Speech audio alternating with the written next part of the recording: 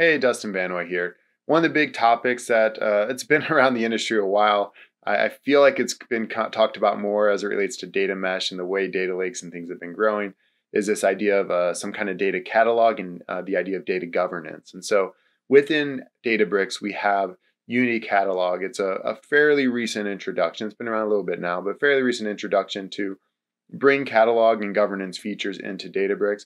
And it's really meant to cover the full extent of things you can do on the Databricks Lakehouse. So all the way from data engineering, um, different analytics queries and things like that that you do as if it's a data warehouse, and then the machine learning and pieces of MLflow and things that are going to allow your data scientists to do all of their work within the Databricks uh, environment as well.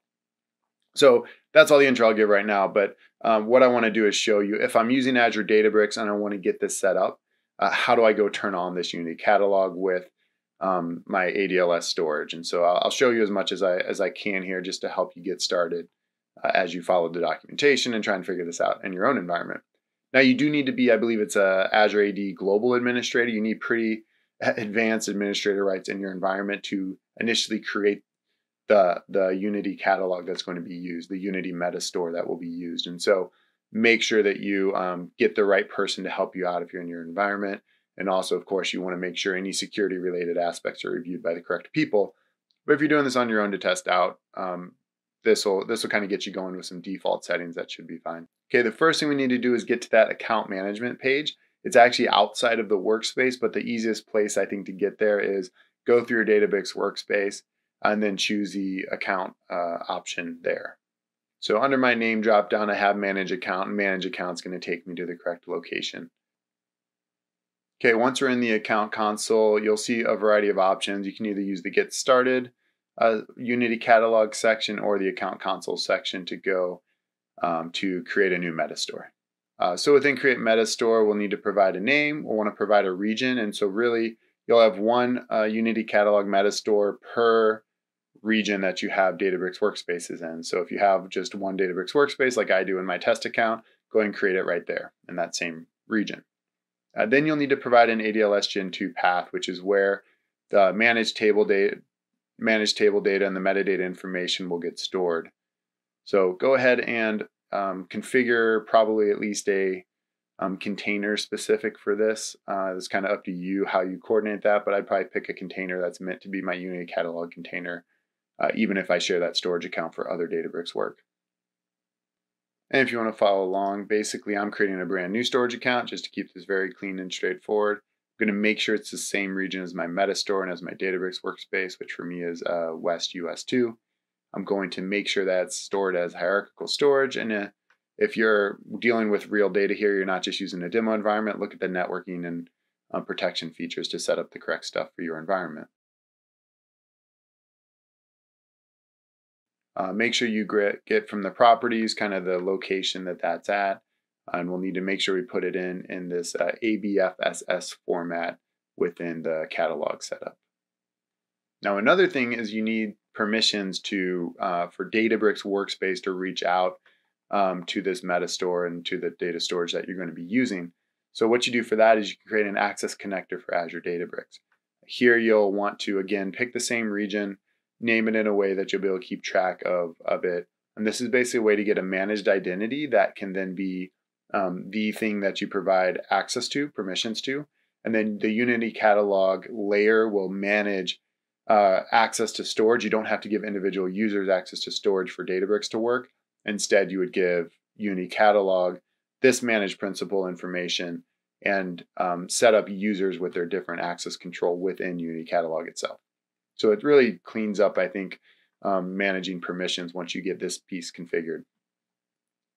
So once that's there, you want to grab the managed uh, identity ID uh, and then go assign a role for that same storage location we were just using for Unity Catalog to work with. Okay, so here you see I'm grabbing um, the the one that I just created, and I'm going to uh, set up the uh, storage blob uh, data contributor role.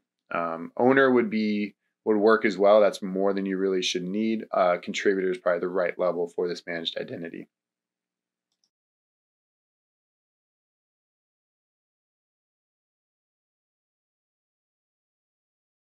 And then we'll go ahead and assign this Unity catalog resource to a specific workspaces. And so the workspace needs to be in the same environment and it needs to be premium.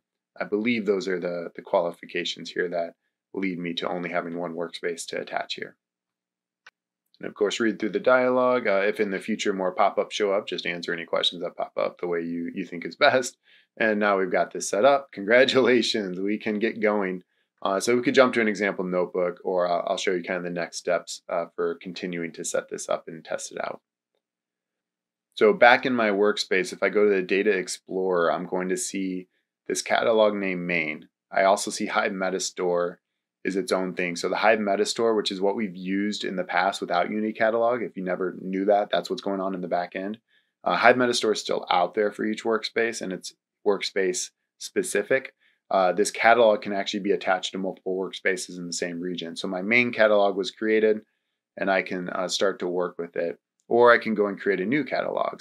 Okay, I'm going to create a very simple uh, test catalog here. And then we're going to look at what happens when we actually run some things on this Unity catalog enabled workspace. So we'll just call this thing test catalog um, and we'll use the default location. So it's going to be stored alongside my uh, main Unity catalog that I configured already. So here we go. I create a new job, so under workflow job, uh, and I select a notebook that'll be just a simple test for uh, loading up a table so we can kind of see what gets tracked in Unity catalog. Um, so I'll just pick the standard settings to get this notebook configured, and then we'll keep going. And then let's go ahead and to get a better test, add in another task. So we're going to have a dependent task called test job 2. It'll run another notebook that reads from the first table, does just a little bit of uh, processing, and saves to another table for us. Okay, so let's take a look at uh, what it looks like to actually run this workflow. Um, so we can see the two pieces are running and then completing. Uh, and then we'll jump in and see what it looks like from the Unity catalog perspective. So when I return to Data Explorer, I'm within and choose that catalog I created, I'm within Unity Catalog Experience now. So I can see a few things here, right? I can see a list of tables under my default schema, or database is another word we use for that. Uh, and I can see two tables. The first one was the um, trip sample one created by my uh, my first notebook in the workflow, and then that second one was created by my second notebook in the workflow. When I click on uh, some of these different tabs, you'll see what we can what we can find from Unity Catalog.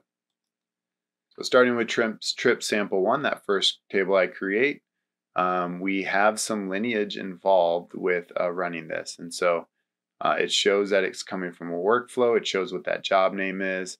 Uh, and I can look at either upstream or downstream. There's really not an upstream for this one. You can see I can put a, a comment on different columns. I can put a comment at the table level, uh, a few different things I can do to add additional metadata that's going to be helpful for kind of the governance and, and search aspect of Unity Catalog. Okay, within sample data, I can see just a glimpse of what my data looks like, which is helpful. Under details, I get kind of stuff you would see if you do a describe.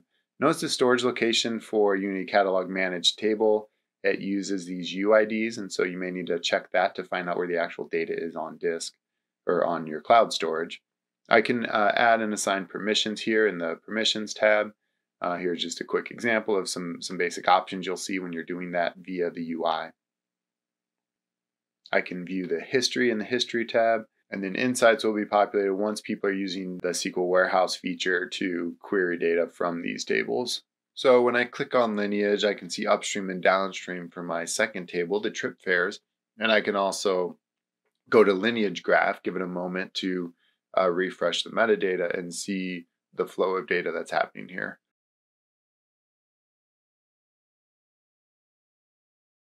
So that's really um, the main thing I wanted to point out, that this is the simple steps to get it set up, get working with it, and just kind of the quick intro to how it works. All right, see you next time.